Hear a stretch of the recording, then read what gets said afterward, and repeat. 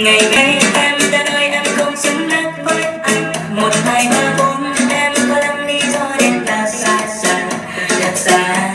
Em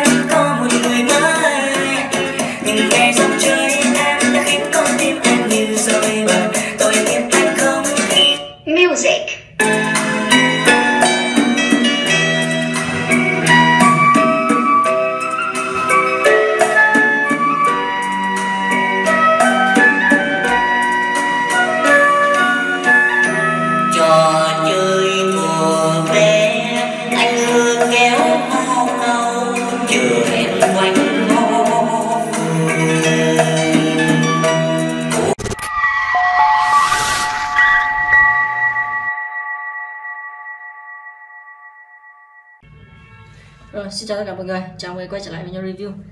Thì, uh, Hôm nay nhóm sẽ hướng dẫn các bạn uh, test cái uh, module audio 250W Bluetooth XH uh, MH422 à, M422 đây, tên của nó đây. Thì uh, module này dùng để uh, giải mã âm thanh và khuếch đại âm thanh. Thì uh, cái tín hiệu uh, audio vào các bạn có thể uh, lấy qua chuẩn Bluetooth.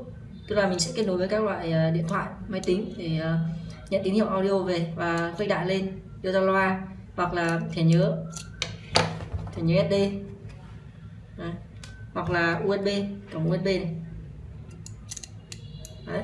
ở trên uh, mạch cũng có các cái nút để chúng ta chọn chế độ. Đây là có nút mode này. Nút mode nút mode là để chuyển từ chế độ Bluetooth hoặc là đọc từ thẻ nhớ hoặc là SD à, ờ, từ thẻ nhớ hoặc là USB nút play play này stop này à, nút chuyển bài. À, nút tăng giảm âm lượng. Đấy, đầu ra. Đây là cấp nguồn này.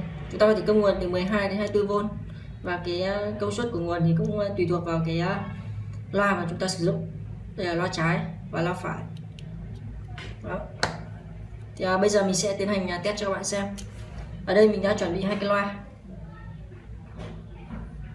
Đó, thì à, mình sẽ kết nối đây. Đầu tiên là kết nối cái à, dây cắm nguồn nữa. Các bạn nhớ đấu đúng chiều nhé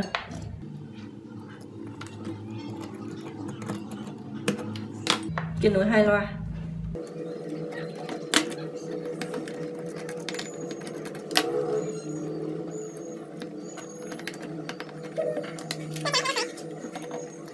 Thì cái uh, module này nó sử dụng cái uh, con IC uh, khuếch đại là con TPA 3116D2 thì mỗi kênh của nó có công suất là 50W chúng ta có thể đưa ra cái loa 50W rồi bây giờ mình sẽ tiến hành cấp nguồn và test cho các bạn uh, xem ở đây mình à, sử dụng nguồn 12V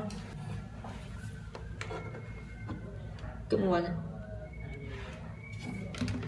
Test mode. The Bluetooth, the Bluetooth device is connected uh, successfully.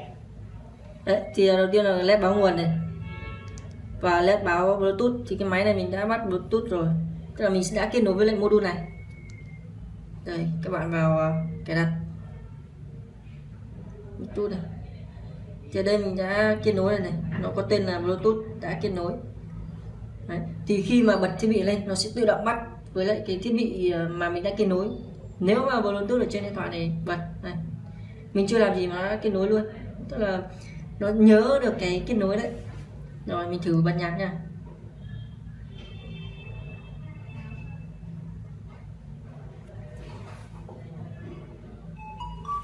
Các bạn có thể chỉnh âm lượng ờ, bằng trên điện thoại luôn.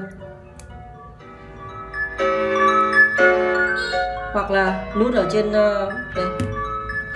Để chỉnh âm lượng, để chỉnh âm lượng anh các bạn sẽ nhấn giữ.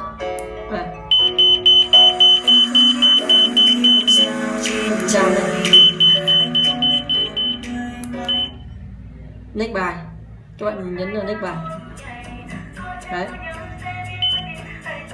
Hoặc nhấn dừng này. Đấy.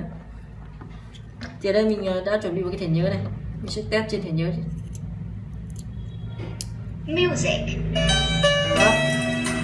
Nó sẽ tự chuyển uh, sang thẻ nhớ luôn nếu mà các bạn muốn Bluetooth mode. đấy. The Bluetooth device is connected successfully lên play này đó, tăng này.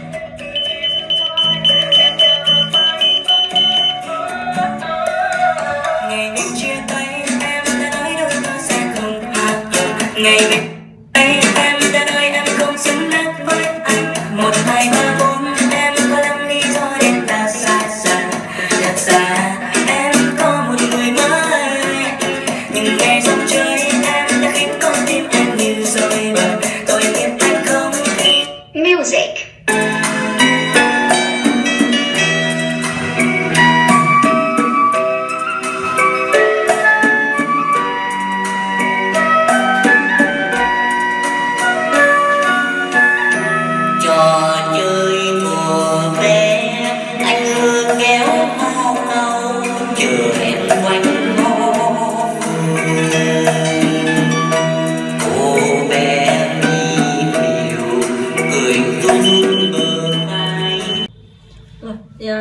vừa giới thiệu cho các bạn về cái uh, module audio 2 x 50W Bluetooth XHM422 uh, nghe nhạc khá là chất lượng.